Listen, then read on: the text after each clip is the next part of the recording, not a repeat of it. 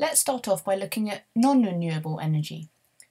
Non-renewable or finite resources are resources that will run out. Coal, oil, gas and nuclear are all finite resources. And of these, coal, oil and gas are examples of fossil fuels.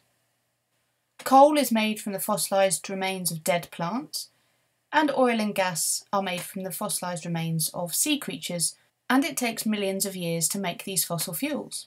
So once we use them all and they run out, we will not be able to replace them. That's why we call them non renewable. We can use these non renewable fuels in a power station. In a power station, fuels are burned to generate electricity. When generating electricity, you need something to turn a turbine, which then turns a generator to produce electricity, and that is then transmitted across the national grid into your homes. Now we'll look at a little bit more detail about how a power station works. Fossil fuel power stations burn a fuel, for example coal, oil or gas. The fuel is used to heat water, turning it into steam. And the steam turns a turbine. So for a fossil fuel power station, it is steam which is turning the turbine, which then turns the generator. So if we see what's happening in the diagram, you've got coal as the fuel going into the power station. That coal is being burned and it's heating up water. That water is turning into steam and travelling along to the turbine, and that steam will turn the turbine. The turbine is connected to the generator, and that will generate electricity. That will then be transmitted across the national grid to millions of homes.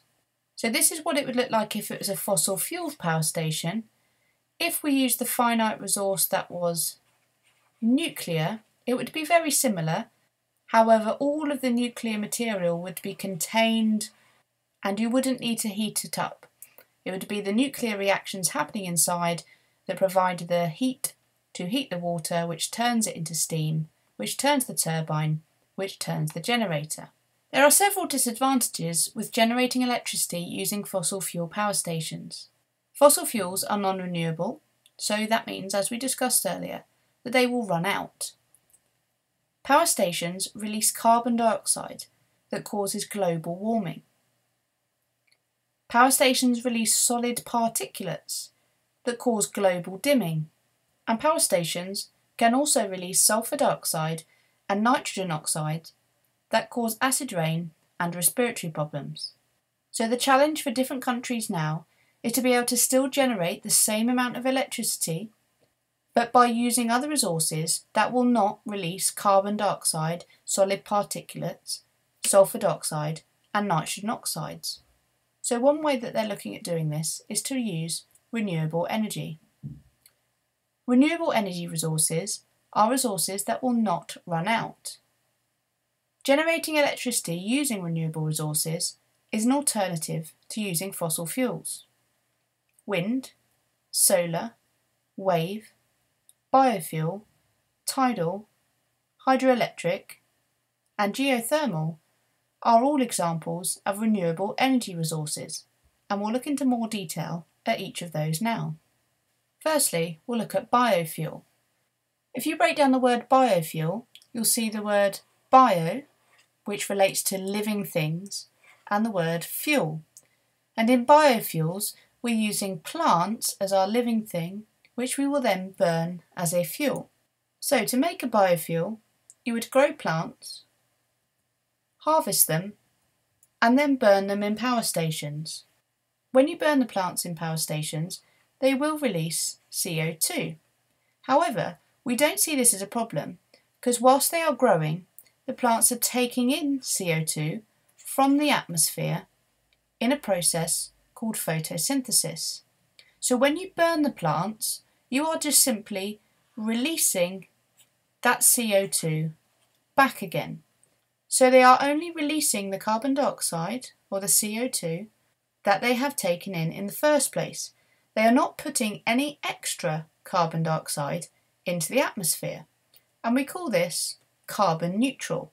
So we can say that biofuels are carbon neutral, which is much better than burning something like coal, which has carbon locked up in it, and when we burn that, it's releasing extra carbon dioxide into the atmosphere. The next renewable energy source that we'll look at is geothermal energy. If you look at the word geothermal, it's got geo, which relates to the earth, and thermal, which relates to heat. With geothermal energy, you pump water underground. Water is heated by hot rocks deep underground, and the water turns into steam, which is used to drive the turbine. So you can only do this in places in the world where you can access hot rocks underground. And just like the fossil fuel power stations, we are using steam to drive the turbine to turn the generator and generate electricity. But we are not burning any fuel, so we're not releasing any carbon dioxide into the atmosphere whilst we are doing it. One renewable energy source which you may have seen near you is wind energy. In this renewable energy, it is the wind that directly drives a turbine. So the wind coming in will drive this turbine, which will then turn the generator and generate the electricity. However, it's not very reliable because it is not always windy. Now let's look at hydroelectric energy. If we break down the word hydroelectric, we have the word hydro, which relates to water, and electric for electricity. So this is generating electricity using water. In this image, you will see a large reservoir of water.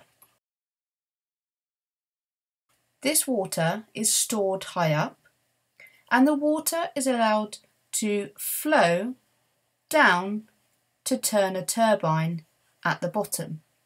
Then the water will either be allowed to flow into a river or it could be stored in a lower reservoir at the bottom, and in some cases it's pumped back up again to the top if it is needed later.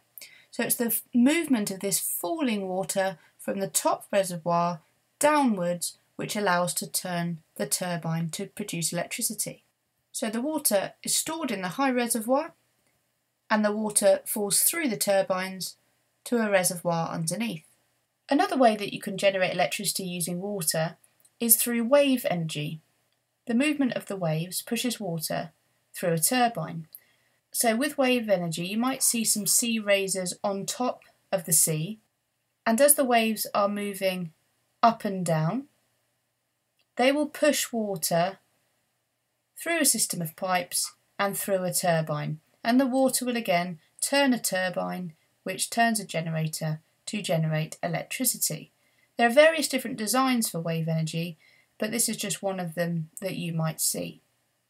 Like wind energy, wave energy is not very reliable because it relies on there being lots of waves. If it is a still sea, you won't be generating any electricity. However, another renewable source that involves using seawater is tidal energy. In tidal energy, water flows through turbines as the tide goes in and out.